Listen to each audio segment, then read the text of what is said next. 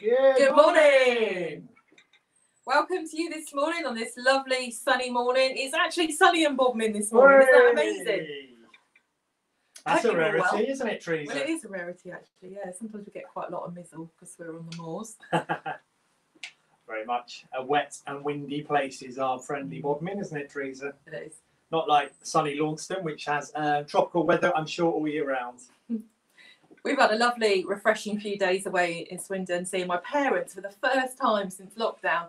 And I'm sure some of you can that can resonate in your spirit if you haven't seen your family and your loved ones for so long. It was just such a blessing to be with them to celebrate their 60th diamond wedding anniversary. Wow. I don't think there's probably many people that can put their hands up and say that they've uh, lasted the test of time, but my folks have done it. So well done, mum and dad. Well, we're a quarter of the way to that point, trees, aren't we? 15 Quarter, years 15 this year. in August. So Yeah. it'll be interesting to know if you are married and you know how many years you've been married.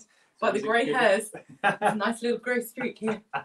If you know how many years you've been married, why don't you put it in the comment box below so we can work out the total number of years married life has affected our church this morning. Affected. That Or- sounds like it or, was a choice. or blessed, maybe is Blessed, a that's better, a better word. The men will be affected, the ladies will be blessed. Oh, boo here, to say all the ladies watching. so what's coming up today, Teresa? Today we've got some worship, we've got some prayer. Steve, our assistant pastor, will be bringing the word this morning. And we have a roof update. Nothing like a, a nice bit of exciting What, news on a Sunday. Update. No, a roof. I was in Roof, a roof of a building. As in the update. roof of the building, as in the hole. Hopefully that is getting smaller and hopefully there is no more rain in. Hooray. Yay. Excellent. But more of that later on. So if you are joining us this morning for the first time, welcome. You might even be watching us on our online platform, gatewaycornwall.online.church, which is where uh, most of our church congregation are meeting. There's a chat facility, there's a prayer facility. Uh, please do feel free to press the prayer button. We'll mention that in a second. Um, but if you're watching us on Facebook this morning or catching up during the week, well, welcome. Uh, the Gateway Church is a church that meets in Launceston and Bodmin in North Cornwall. Uh, we've been operating in North Cornwall for 10 years now as an Elim church. So Wow. Um, imagine church? 10 years. 10 years, that's a, that's a long number, isn't it? By. Nearly as long as 15 years, Teresa. Who would have thought that many years? Hey, um, so if you're joining us on Facebook, leave a comment below or comment below, say hello, let us know where you're coming from, where, you, where you're watching in today or tomorrow or whatever day of the week it is you're watching us. And just interact with us, let us know more about you. Mm. If you'd like prayer, then obviously click on the, if you're on Facebook, click on the DM button and contact us that way, and we'd love to pray. Teresa? But if you're watching live right now, there is a button that can request prayer. That takes you into a separate chat facility, which is completely confidential. And two of our leaders will be there ready to receive you and to pray with you. And it's really important to be honest when we need prayer. I was reading this morning in the book of James, in chapter 5, verse 13. Is anyone among you in trouble? Let them pray. Is anyone happy? Let them sing songs of praise. Is anyone among you sick? Let them call the elders of the church to pray over them and anoint them with oil in the name of the Lord. Yes. And the prayer offered in faith will make the sick person well. The Lord will raise them up. If they have sinned, they will be forgiven. Therefore, confess your sins to each other and pray for each other so that you may be healed. The prayer of a righteous person is powerful and effective. Wow. Amen. Well, I think on that note, Teresa, we'll probably go into some worship. What are we playing today? A thousand Tongues by vertical worship. Oh, did I get you there? Did you not You know that get one? me there. Excellent.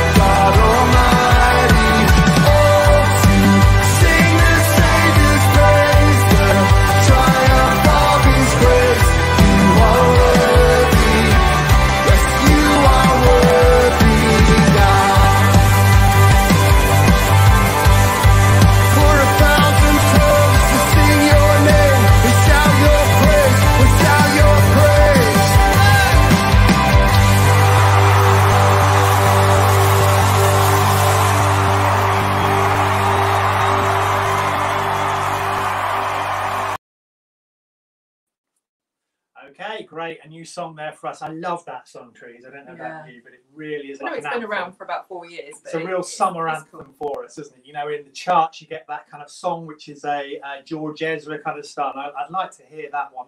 Maybe that's my new favourite. 10,000 Reasons is well out the window. Happy Days is still there, but maybe A Thousand Tongues could be. It's only four years old, so it's relatively new for us.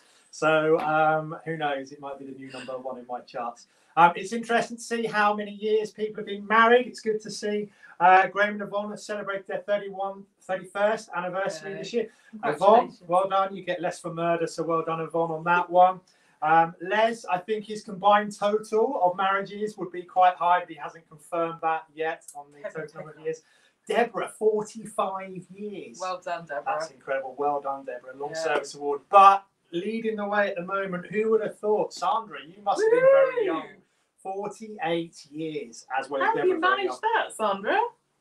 That's a lot Well of years. done. So well over a hundred there, just between Sandra and Alec and Deborah And and Pete and Bill. Teresa, 12 years. Twelve years, and obviously ourselves fifteen. So we're getting up to 150 there, if not more years of marriage, just by those who've admitted how many years they've been married. so well done, guys. So um, yeah, well done. excellent. Okay. So uh, next Saturday we have a dog walk or just a walk. Doesn't, doesn't matter if you don't have a dog or borrow a dog. Just don't steal a dog. Yeah, yeah, please. that's a bit wrong, Teresa. um, at Cardinham Woods, which is near um, Bodmin. You do have to pay to park there, so just be warned, bring some pennies to do that or, or a card. I think it might just be taking card payments. yeah, I think they are. They yes. have got um, social distancing measures in place. It's really simple. It's a lovely walk. Woods Cafe is open there for refreshments, or bring a takeaway and a flask. Uh, take, a takeaway. Bring a picnic um, and a flask. Whatever you would love to do. We're Well, like going to Chinese meet. takeaway. That's what I was thinking. Chinese takeaway. Indian takeaway, feel free.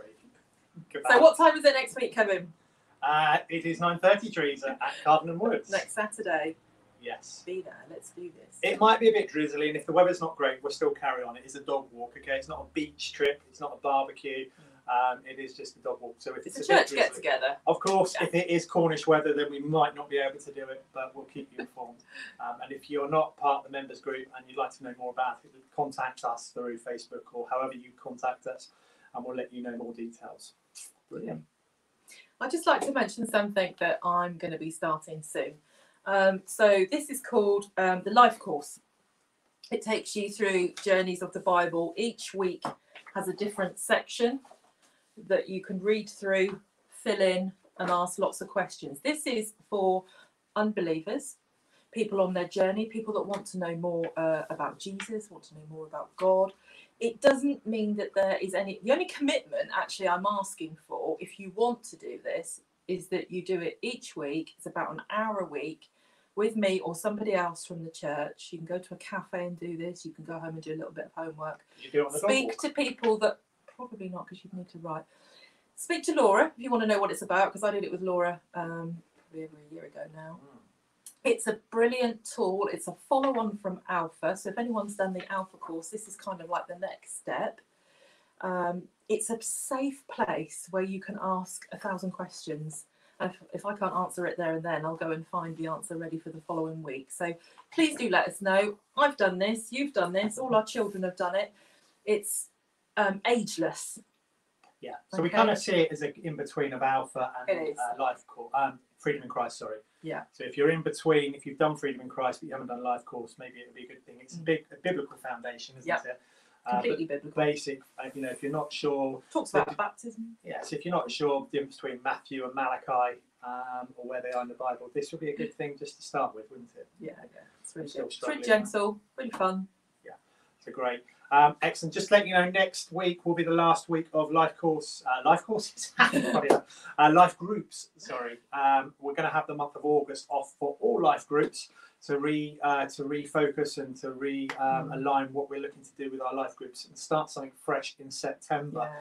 So We'll be um, training our life group leaders. all up, yeah, so we're doing some training and that for our life group leaders. If you'd like to be a life group leader, then we've got plenty of opportunities and plenty of um, availability, should we say, to become a life group leader. So if you feel that God might be stirring you, you're happy, maybe you've got a, a gifting in like a chairman role, maybe, Or uh, or a teaching role or a pastoral role, um, then let us know because we'd be really keen to include you on that training. And uh, we're, we're really open to um, different ways of doing life groups. So it's not just the, the same structure that you might be used to. We want to really Mm. challenge the way that we reach out into the community. So if you are a part of Gateway Church, you're a member of the church, and um, you feel that you'd like to maybe explore what becoming a life group leader is, then contact me um, this week, really, to be honest with you, so that we can then include you in the training. You might want to do the training, but feel that it's not right for you. That's okay. That's cool. Don't worry about it.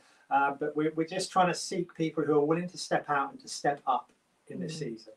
Um, and who knows, by September we might be meeting again and we you might be able to do a life group physically um, or it might still be online. But if you just feel that maybe God's stirring you to, to step up, then contact me as soon as possible and I'd love to um, have that conversation with you. Brilliant. Um, right, Teresa, I think Roof update. roof update. So let me show you a lovely picture which was taken. This is our Steve, not me, Steve there in the picture on top of our roof. And as you can see, he's been busy there painting it this week. I've got a little short update video that I'm going to show you. You have to excuse me, I'm on technology today. Let me just show you the video.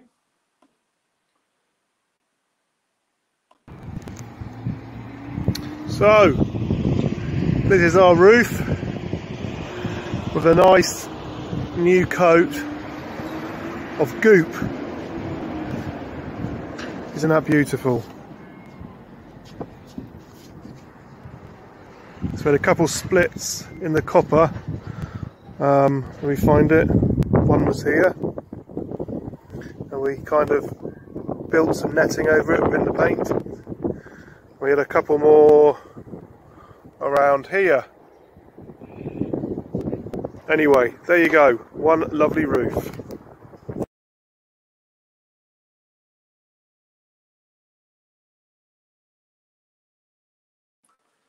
So there we go. Don't say that we never provide interesting and insightful videos on this church channel. Um, literally, the roof has been shown this one. Yeah, so thank you, Steve. That is an incredible job. You know, sometimes the jobs that we do in church are thankless, aren't they, Teresa? You know, there's a few people I know in our church who do thankless tasks and they just get on and do it. And thank you that Steve has been one of those blessings who has identified there was a problem. We fixed it, we sorted it, um, and hopefully, and keep on praying about this, please, guys, that that is now resolved for the foreseeable future on the roof. Now, um, so what Steve has done might seem quite simple to some, but really what it does, it opens up the door so that we can start to do other things within the church building. Mm. Remember, God has gifted us this building. And there's three elements to our church really that is, is really important to remind people, especially if you're fairly new to us, that we have we have the church in Launceston, we have the church in Bodmin, and we have the Gateway Centre. Now, out of those three entities, the Gateway Centre is probably the most costly of the three entities. Would you agree? Because of the building and because of the upkeep and the administration and running the projects. And it's really important, though, that we must remember that the Gateway Centre is by far our biggest outreach Mm. project that It's we do as a church. all, isn't it? You know, it really is a huge element of us as a church as we reach out to the community, and we are part of the community, certainly in Launceston um, at this time, and are very much a, a leading leading the way in some of the things that we're doing, which is pioneering stuff, which is really putting the church on the map in the town. So um, I can't see us suddenly getting rid of the Gateway Centre because it's costly, but unfortunately, like any house that we own. And you know we've got people moving into new homes in the this season ahead, and there is work that is required. And even if you own your home, you know, honestly, it's going to cost you to maintain it. Mm. Whether you're decorating, whether you're upkeeping the garden, whether there's a problem, it costs money. And so it's no different to us as a church with a slightly bigger home, 10,000 square foot building. Um, and I was reminded this week as we go into our times and offering message, um, a little kind of thought in Proverbs uh, 2, verse 9 to 10. And it says, Honor the Lord with your wealth and with the first fruits of all your produce. Then your barns will be filled with plenty, and your vats will be bust, bursting with wine. Now, okay, some of you might say, okay, Kevin, that's just a prosperity message that you're just after our money. And you're right. Know. Um, it's not, it's more than that. Okay. It's the ability to say, okay, if you imagine our church on average, the average amount of offering we get per person per month is around about £50. Okay. I'm going to put it out there. Okay. I've, I've, I've shared the beans. I've shared our trade secrets, and no doubt the other churches in our community be writing that down and comparing notes. we don't have you. anything hidden. We are church. transparent about what we do. Okay. Um, Yeah. But what I will say is you might be sat there as part of our church now. You might be one of two people. You might be a smug person right now going, oh, do you know what? I give more than £50, then I must be a good person. You know, I'm giving above and beyond. Bless you. Or you might be someone who is unsure.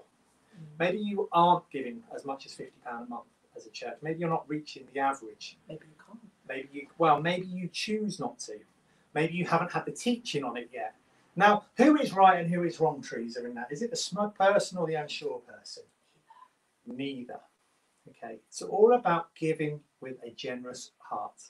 Mm. It's all about understanding that the projects that we do aren't just about filling the pockets of the pastor, because rightfully so at this time, I'm not taking a wage because the church can't afford to pay a wage. There's a hole in the roof. There's a hole in the roof. The boiler needs fixing. You know, all these things are going on, and we choose to uh, forfeit the ability to take a wage at this time in order to allow the, the ongoing kingdom work in our communities to take place. But what that does mean is if we can increase our income as a church, if we give what we should truly give with a generous heart, we will be able to achieve much more.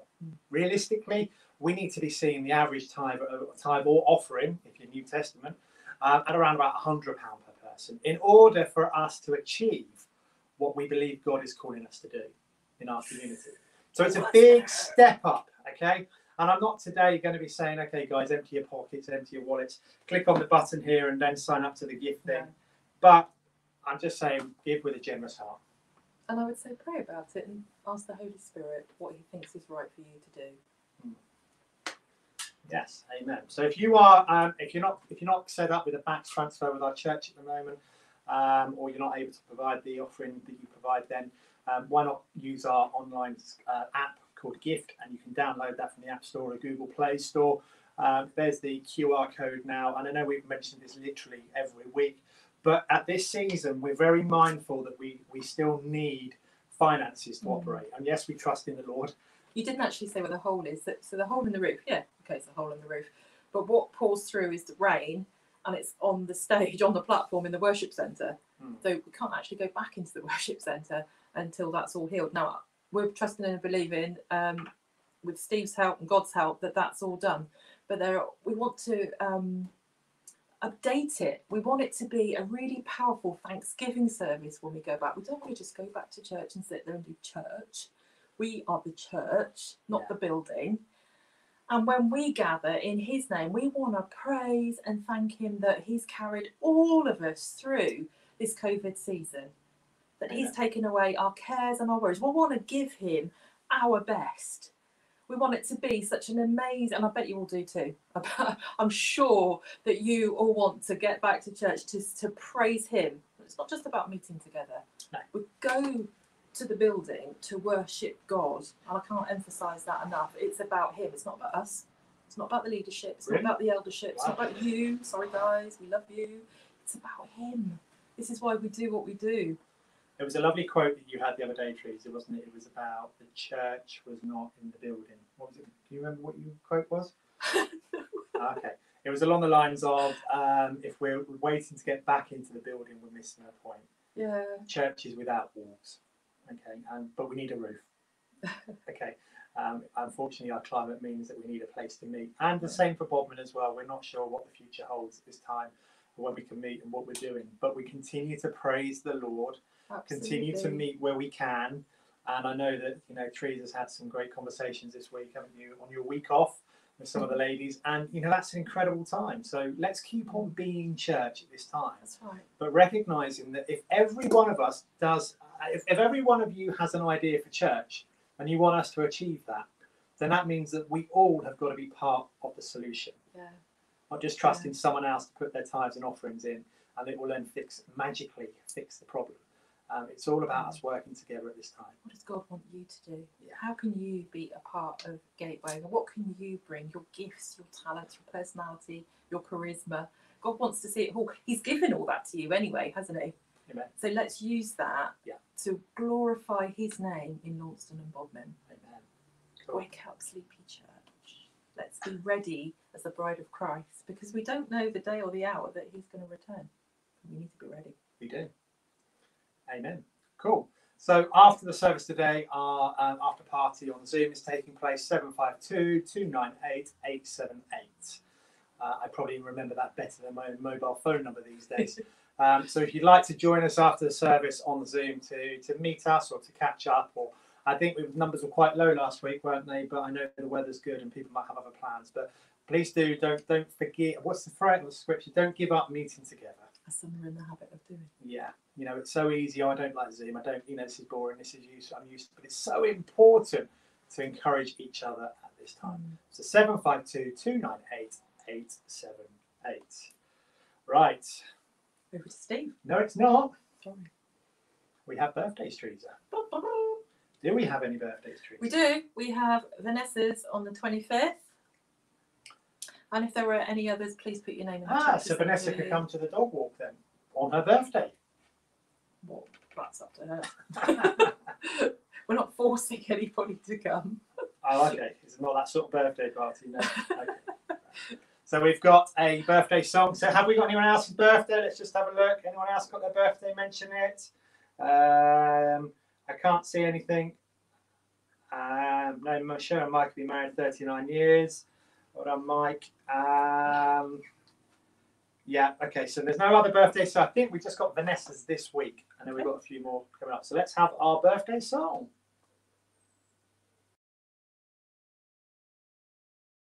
Hey kid, I hear it's your birthday. Happy birthday to you. Happy birthday. Happy birthday to you. Happy birthday. Happy birthday. Happy birthday. Happy birthday to you. Happy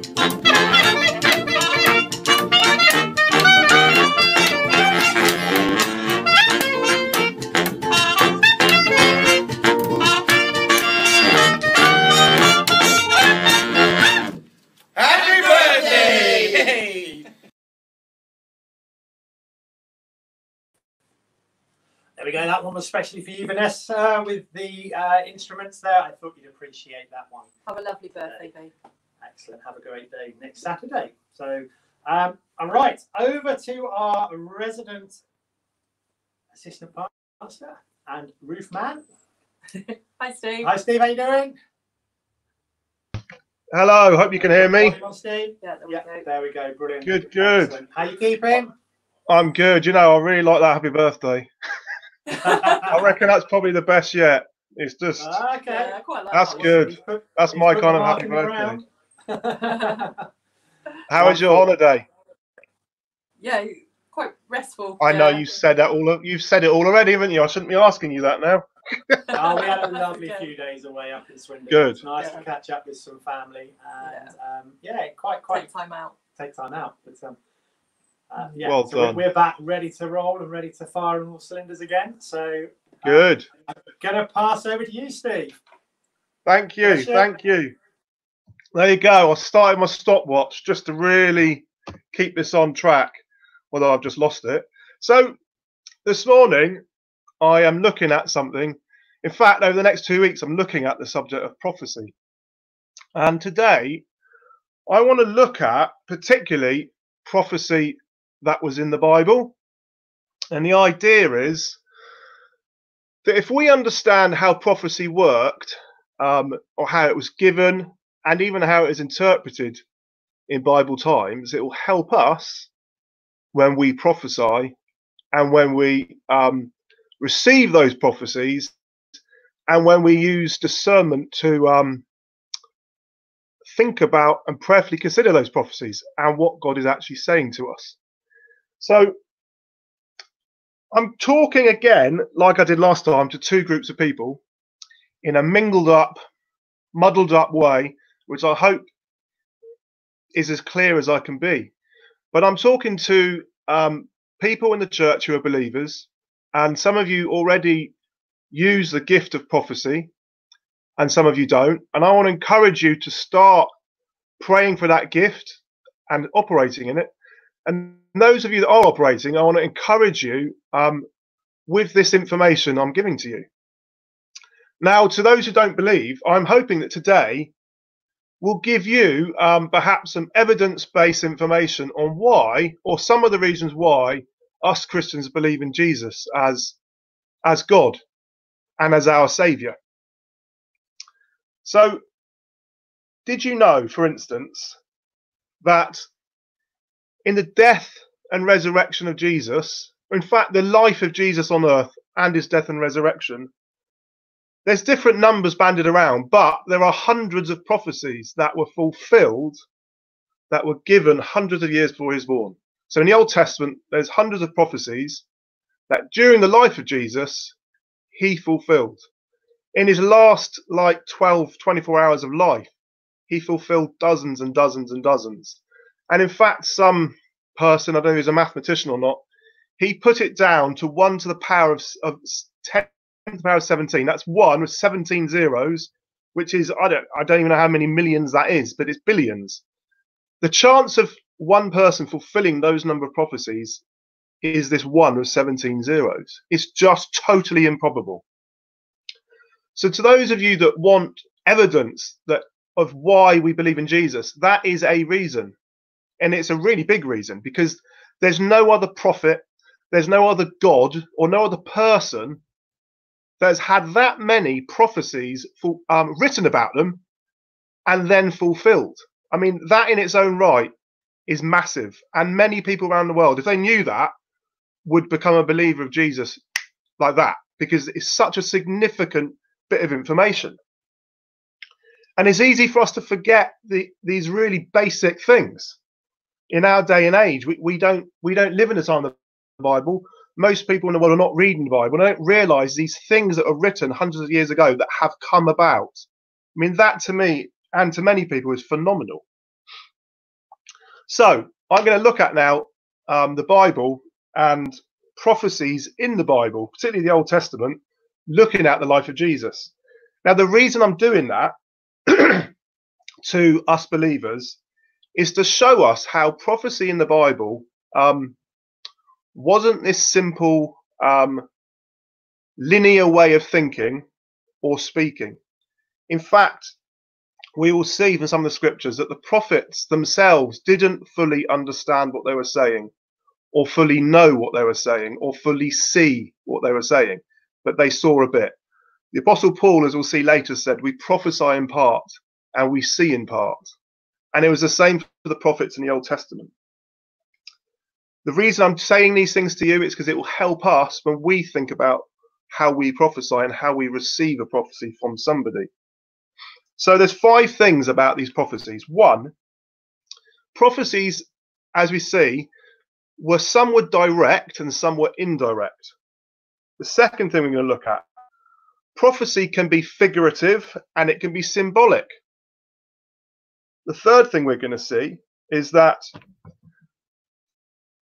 in Jesus' time, the fulfillment of those prophecies was very rarely accomplished in the way that people expected. The fulfillment of these prophecies was not fulfilled in the way that people expected. So that should affect how we think about prophecy.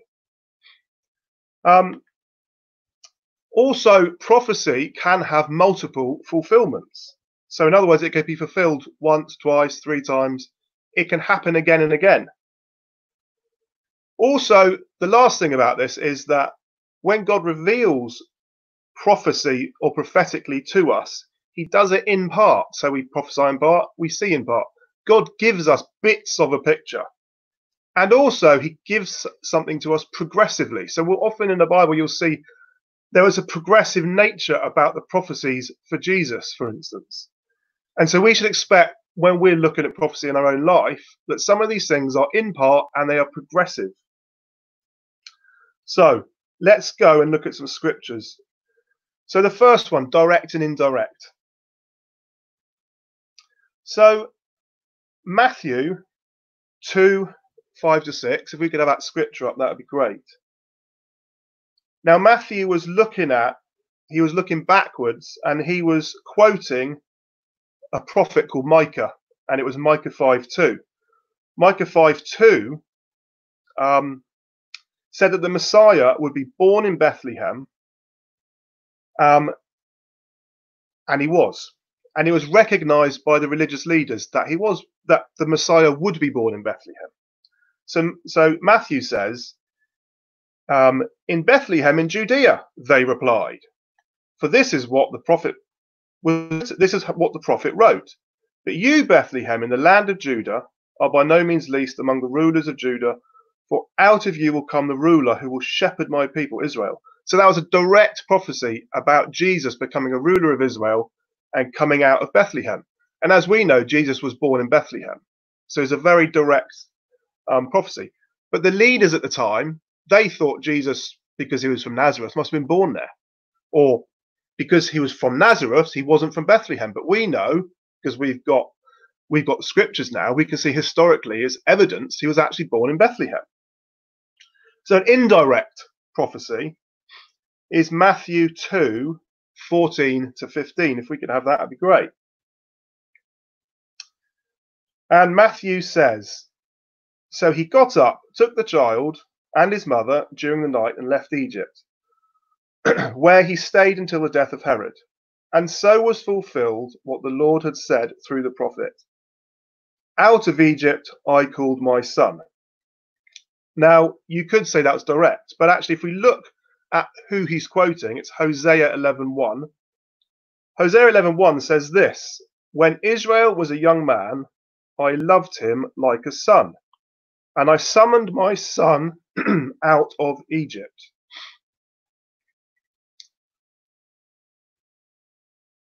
Now,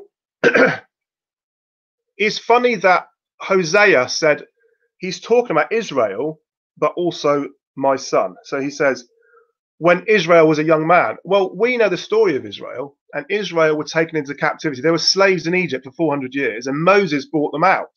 So it looks to me like Hosea is prophesying about Israel coming out of Egypt.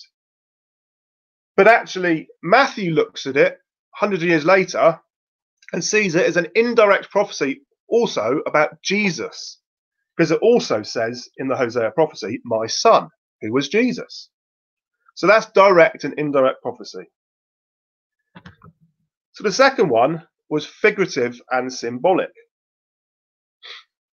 And Jesus himself, um, in John 3 14 to 15, if we could see that one, he refers back to a story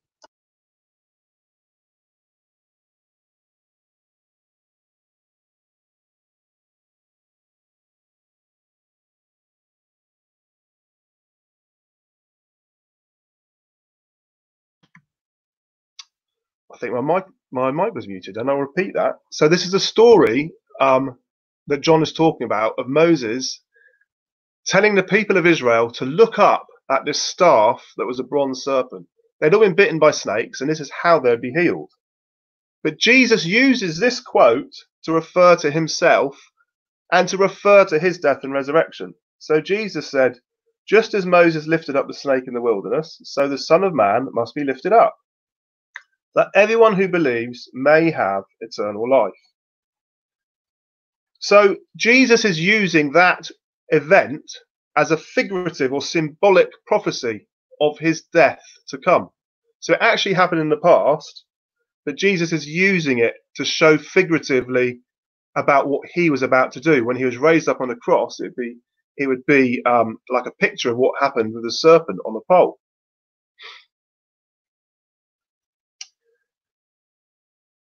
So next, I'm going to look at multiple fulfillments.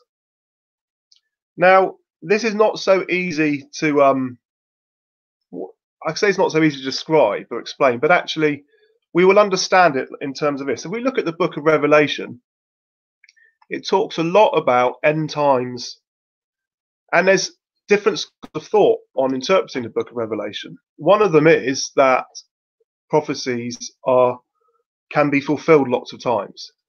And so, for instance, there are prophecies about um, Israel coming back to their homeland or to their promised land, for instance. And some would say, well, that clearly is referring back to the time after Babylon, after their time under Nebuchadnezzar for 70 years in slavery under him or in captivity under him.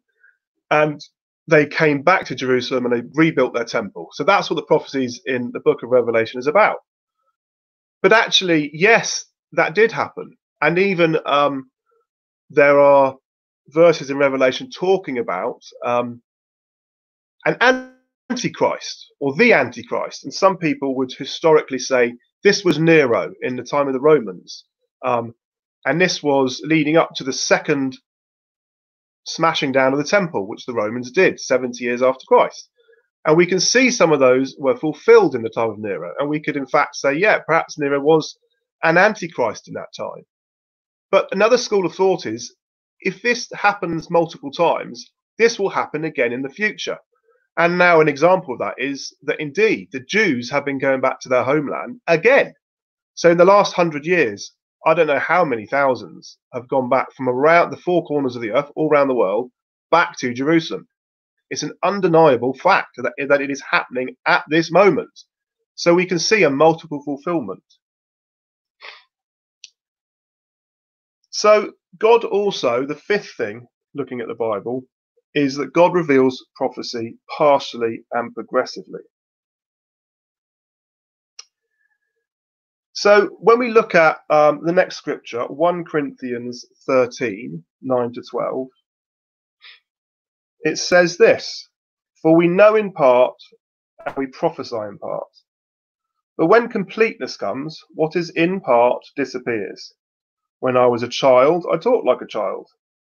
I thought like a child. I reasoned like a child. But when I became a man, I put away ways of, of childhood behind me. For now we see only a reflection as in a mirror. Then we shall see face to face. Now I know in part, then I shall know fully, even as I am fully known.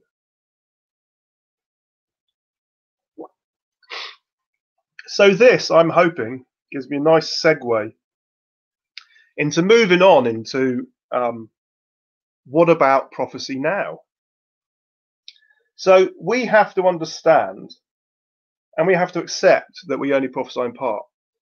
So when we are giving a prophecy, we have to be very humble. When we are receiving a prophecy, we have to kind of take it open handed and open hearted and realize that the person giving it to us is only seeing in part. And I guess in this section of prophecy now, I want to give two bits of information across, and that's this that prophecy is often looking forward. So when we looked at the prophecies a minute ago, they were all looking forward to Jesus. We don't get so much of that now. We get bit, we do get prophecies where somebody prophesies something that will happen in the future, and it's a really clear way of knowing if they're if they're right or not because it either happens or it doesn't. Unfortunately, some of those prophecies may not happen in their lifetime. But still, you would know if it was right or not at some point. Now, the other element of prophecy, and this is the main part of prophecy, is what we call forthtelling. In other words, it's not telling something that's going to happen in the future, but it's actually speaking into a situation um, in the current time. It might look back, in fact, but the idea is it's speaking into a current situation or a current time and a current event. Most of the prophecies we get in church are based around this. Now, forthtelling is um, it's not preaching. So preaching would be like I'm doing now. Done my homework. I've looked at the Bible. I've done my research. I've googled a few things. I've got ideas. I've brought my information together and I've packaged it up and I'm giving it to you. But when somebody forthtells with a spirit of prophecy, it comes as a direct revelation that God gives them in a moment. It's or in many moments, but it's not them going to study the Bible and coming to you to preach. It's something that Spirit just brings to them. In it now, the Spirit might bring to them some some verses of Scripture, but the point is, He's bringing it to them as a revelation in a moment, and then that prophet that prophet then has the decision to make: um, what do I do with this? Do I give it to somebody? Do I sit on it and wait? Do I pray about it? That's a kind of another subject for next week.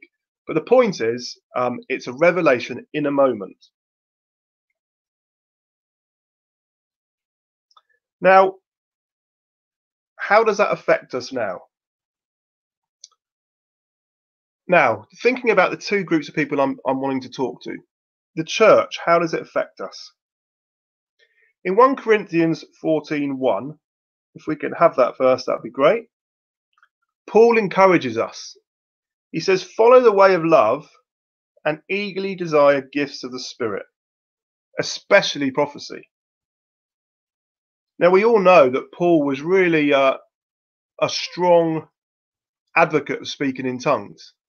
And as um, Pentecostals, again, we are strong advocates of speaking in tongues, particularly. We're advocates of the gifts of the Spirit.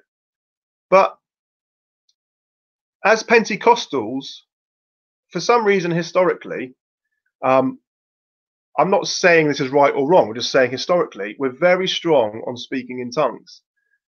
But it's interesting that Paul, around this verse here, he's talking to the church and he actually says to them, when it comes to speaking in tongues, it's much better for you to do that on your own. And when you're in public, bring prophecy because that's me more beneficial. And this is the kind of this is the area he's talking in. So he's one, he's encouraging the Christians to have the gift of prophecy and to pursue that gift of prophecy over and above speaking in tongues in public, for instance, because that would do no good, but prophecy would be brilliant, be really helpful.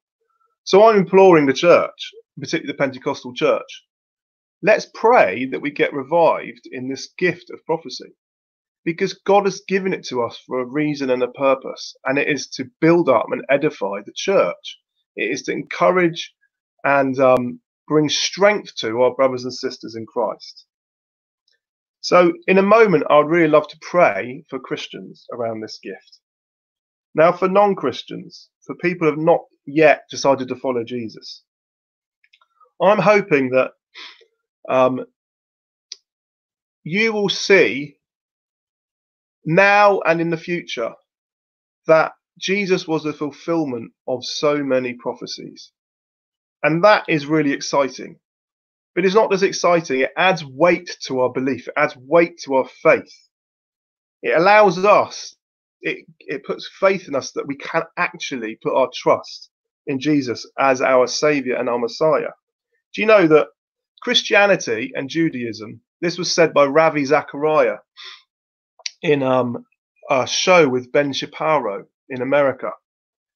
And he said, he said this, you know, Christianity and Judaism is the only religion, is the only faith where their God wants to have communion with his people. There's no other religion where the person, the thing they're worshipping, the deity they're worshipping, wants to have communion with them. I mean, this is a fundamental thing. And so when Jesus came, he said he was um it says he was the, the perfect representation of the Father. He came as a human to show us what the Father was like and to commune with us and to be with us. And now the difference between Judaism and Christianity is this. Christians have accepted Jesus as the prophesied Messiah in the Old Testament, which was written by the Jews for them and the rest of the world. We believe that Jesus is that Messiah that he talks about. Now they struggle for that because they had two main prophecies around Jesus, or two main subjects. One was that he would be a suffering servant, and two, that he would come in glory as a king. And they expected him to come as a king the first time round. But the first time he came, he came as a suffering servant, and they didn't want to accept that. They struggled. They struggled to understand it, and actually, probably we would we would struggle to understand it if we lived then. So we've accepted him as our Messiah and as our Savior. And I pray that you will also come to that point of saying, yeah, actually, I accept Jesus as my Savior, as the person that makes me right with God so that I can have communion, have a relationship with Him. So, Father, I thank you that you were the fulfillment of prophecy. God, you had a plan before time began. You knew that humanity would fall away from you. And you knew that the only answer would be for you to do something personally. And so you came personally in the human body of Jesus Christ. And you gave your life for us. And your Bible says that whosoever believes in him shall not perish but have eternal life. Lord, I pray for all people out there who are watching this that are not yet believers, that they would make that decision so if you want to make that decision, you can follow me in this prayer. Lord, I thank you that you gave your life for me, that you died on the cross and you came alive again. And this was so that you would fulfill the law that was written by God that essentially meant there had to be justice because we're not good enough. We're not good enough to be with you, Father, for eternity, but through Jesus we can be. I thank you. And I accept Jesus as you as my Savior and Messiah. And I choose to follow you. And I thank you that I can now have eternal life. I thank you that I can now come into friendship with you. Amen. And for those of us who are already believers, I'm going to pray this. Lord, I thank you that you have given us the gift of prophecy. The idea being that we can encourage each other, that we can have um, mysteries revealed to us by you that will help people and help us. It will help the world out there and it will help us in here in the church. Lord, I pray that you would give us um, wisdom and understanding looking at this subject. And next week, when we look at this, Father, I pray that you would um, reveal to us, on one hand, the simplicity of prophecy and the grace that you have over the whole subject. That you're not here beating us over the head with a stick, that it has to be um, totally understandable and easy, but actually you will help us as we seek to interpret and understand what you're saying to us through each other and through your word. Amen. Hope that was useful, and I'm looking forward to speaking to you all next week on how we can prophesy over each other and for each other, and how we can interpret those prophecies in a really helpful and useful way. See you next week.